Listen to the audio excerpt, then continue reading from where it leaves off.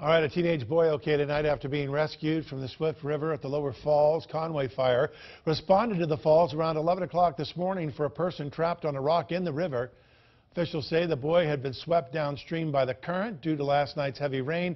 The river was high, making it very dangerous if the boy went over those falls. Boy was pulled to shore by a rescue swimmer. He was not hurt.